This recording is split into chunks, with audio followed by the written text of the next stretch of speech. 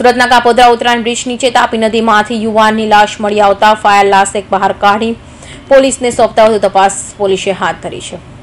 સુરતમાં આપઘાતની ઘટનાઓ વચ્ચે વધુ એક લાશ મળી આવી છે. સુરતના કાપોદ્રા વિસ્તારમાં આવેલા ઉત્તરાયણ બ્રિજ નીચે તાપી નદીમાં એક લાશ મળી આવી હતી, જેને લઈ સ્થાનિકોએ પોલીસ અને ફાયરને જાણ કરી હતી. તો ફાયરની ટીમે તાત્કાલિક સ્થળે દોડી જઈ લાશ પાણીમાંથી બહાર કાઢી પોલીસને સોંપી હતી.